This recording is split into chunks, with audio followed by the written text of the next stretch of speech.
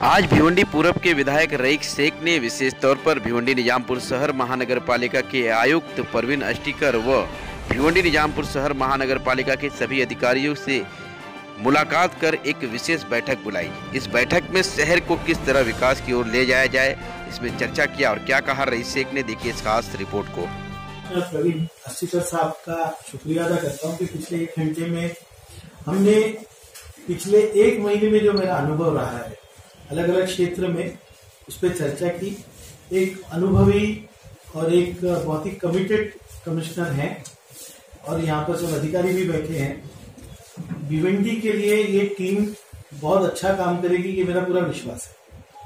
और भिवंडी शहर पिछले 30-40 साल में पीछे गया है, ये मत तो सबका है, लेकिन अभी पीछे नहीं देखना है, अपने को आगे देखना है। और आगे का फ्यूचर भिवंडी का बहुत अच्छा है। भिवंडी आज से, या मैं तो 25 तारीख जब चुनाव उस दिन से कह रहा हूँ कि भिवंडी, कल्याण डोंबिवली हो, अंबरनाथ हो, थाना हो, वो हमारा बेंचमार्क नहीं है। मुंबई शहर में जो है स्तर, वो स्तर जीवन का यहाँ पे आना चाहिए क्वालिटी ऑफ़ लाइफ इंप्रूव होना चाहिए, ये हमारा उद्देश्य है। हमारा ये टारगेट है अब उसमें आयुक्त साहब भी बहुत अनुभवी हैं। ऐसा नहीं है कि कई महानगर पालिका को उन्होंने अनुभव लेके आए हैं। मैं आयुक्त साहब सिर्फ़ अधिकारियों को एक सूचना करना चाहूँगा कि कोई शहर बदलता नहीं जब तक हम अपने आप को बदलते हैं।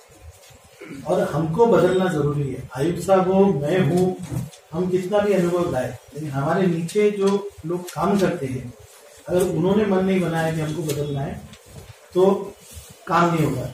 हम, मैं मेरी तरफ़ से मैं पूरी उम्मीद करता हूँ कि आयुक्त भी हर किसी की मदद के लिए यहाँ पर है। हम अपने तरफ़ से पूरा प्रयत्न करेंगे कि शासन की तरफ़ से ज़्यादा से ज़्यादा सहयोग, ज़्यादा से ज़्यादा अटेंशन जो है वो भिवंडी के ऊपर आएगा।